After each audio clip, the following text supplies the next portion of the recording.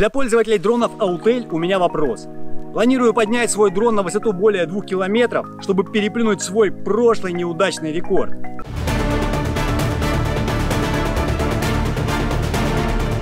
Так вот вопрос. Делаем быстренько на равнинке или немножко ждем, чтобы проделать этот тест в больших красивых горах?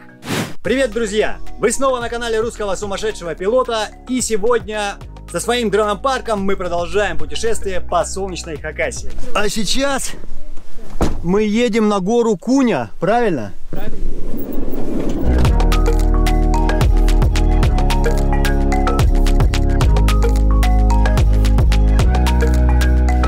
Нам уже рассказывала, чем она примечательна? А, гора Куня она находится там в начале Красноярского моря, э, где русло Енисея, э, с нее такой вид классный получается, там русло на несколько, вернее, Енисей разделяется на несколько русел, а, вид на гору Типсей, ну, просто шикарные виды. Еще она примечательна тем, что там да, э, древняя крепость на ней была. От кого-то они там спасались на этих сооружениях. Маша? Мы едем на гору Куня. Историческая справка только что была. Меня везут, я еду. Давайте дальше. Я довольна. Погнали. Погнали.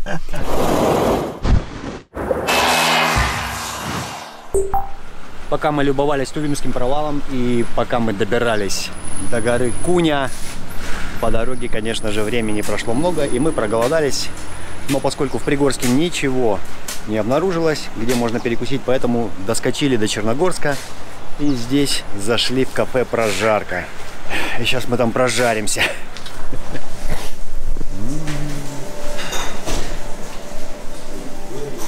Вы, вы уже лопаете, да? Нет. Мы сидим голодные, особенно я. Голодные? Голодные, холодные, не выспавшиеся, упавшие при резком торможении. Из-за своей неловкости. А я соскучился по мясу и заказал себе стейк из говядины. И сейчас посмотрим, насколько он хороший. А я чуть не сказал, какой прожарки. Посмотрим. Меня не спросили. Марина заказала. Не, не серьезно. Да. Просто один ролл.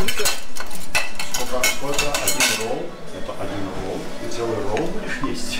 Для раскачки вначале мне принесли горячий салат с курицей, а Марине горячий салат с креветкой. Ладно. Это, это картошка, да? Простите, а когда можно есть? Блогер, блогеры набежали. Я, я не знаю, что делать. Один наглый блогер захватил вообще блюдо и фото этого. Пусть отсюда. Свой фото свой. Тоже соус есть. И вот есть картошка печеная и... Печеная? Нет, печеная. А, печеная? И этот самый перец тоже такой вот обжаренный.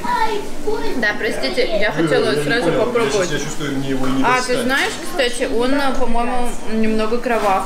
А мы такое и любим. С кровью. Вкусненько? Как тебе стейк? Американский Это не стейк, это американский бургер. Вот так вот выбранная совершенно случайным образом кафешка оказалась чертовски неплохой. Но по трассе, конечно же, мы не свернули бы случайно туда. Хотя, в итоге, очень хорошо пообедали. Наконец-то все наелись. Да? Да, и остались довольны. Едем на Куню уже, все, тут осталось-то километров 40. Меньше. 500 метров поверните направо. Заезд на Куню у нас проходит прямо через Пригорск. То есть основной трассы мы уходим направо, едем, если едем со стороны Абакана, и налево, если едем со стороны Красноярска.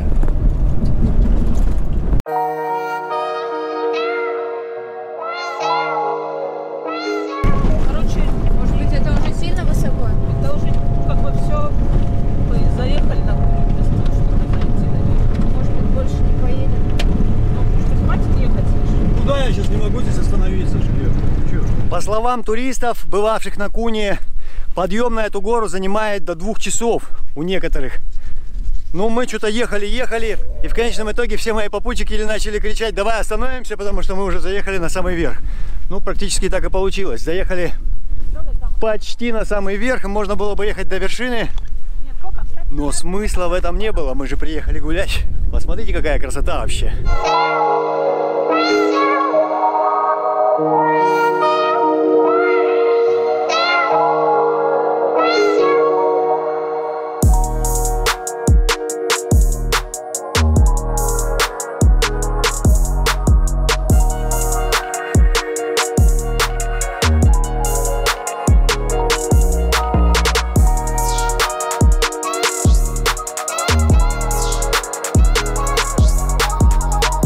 Что вы сейчас видите сзади, за моей спиной, это Енисей, Верховье Енисея, можно так сказать.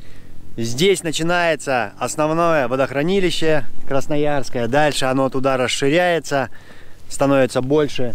Раньше, когда уровень воды на Енисее, то есть в водохранилище был выше, а он был выше существенно, там 15 метров где-то и даже больше, то все это было одной водной гладью.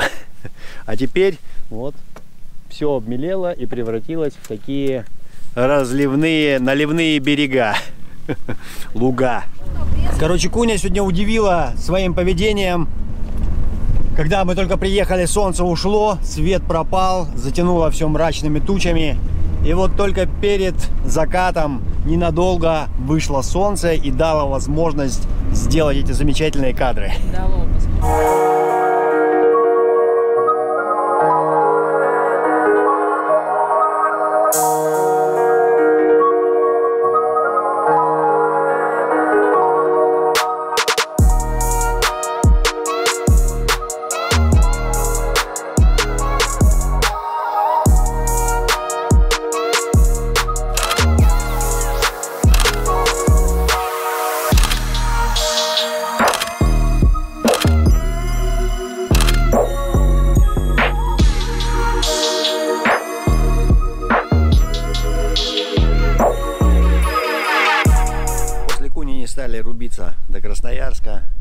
Остановились на парапланерной базе под Шебякина Евгения.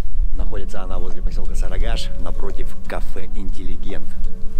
С трассы ее практически не видно, но тем не менее место хорошее, удобное, и многие парапланеристы, дельтапланеристы останавливаются именно здесь, потому что все условия для этого здесь имеются. Ну и самый основной момент это то, что она находится у подножия горы Лиственной, и прямо сюда можно приземляться после полетов. А сегодня погода не балует. Мы проснулись, что-то как-то зябко, дует. Как вам спалось? Нормально.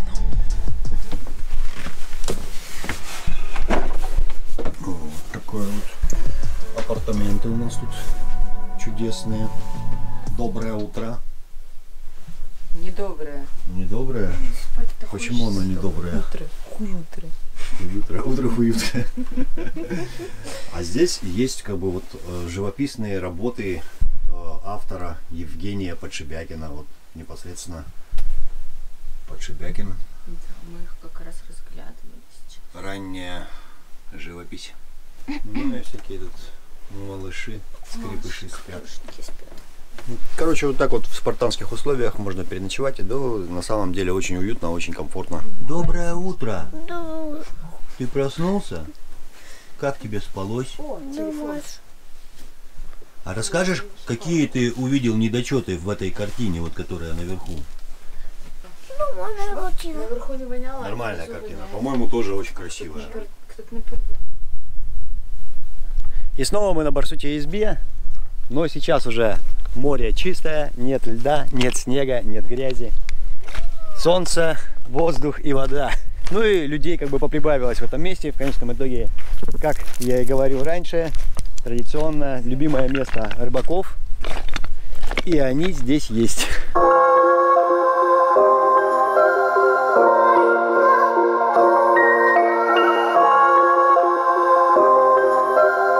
Берег тут пологий и каменистый, нет грязи и местами можно найти настоящие петрогрифы. Глубина тоже нарастает постепенно, поэтому можно купаться у берега, совершенно не переживая за то, что ты резко куда-то провалишься и утонешь. Но это только здесь. Вот детишечки сейчас и продемонстрируют свои способности. Чего, куда вы плывете? Далеко. На такой маленькой лодке вам вдвоем будет не тесновато ли? Тесно. Водичка достаточно чистая относительно уже.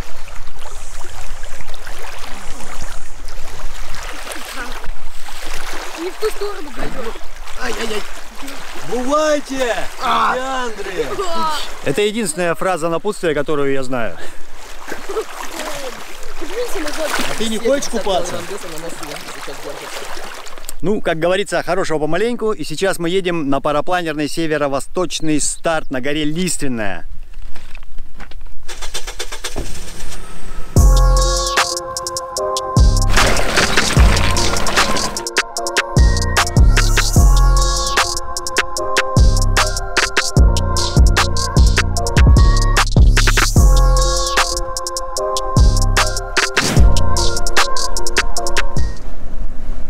Хакасии накопали вот такие огромные рвы прямо посреди поля, вернее, посреди степи. Кто знает для чего они, черканите в комментах.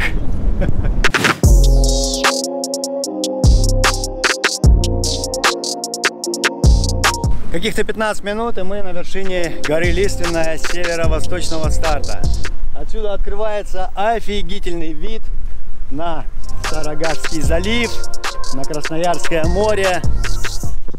И, собственно говоря, видно трассу и посадку возле парапланерной базы Евгения Подшибякина.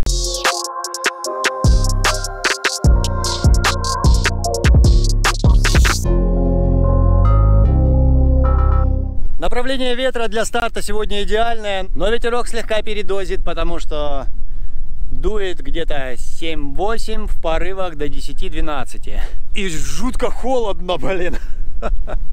Ну, раз так дует, хотя бы дрон пускай полетает, чтобы вы увидели, насколько это красивое место.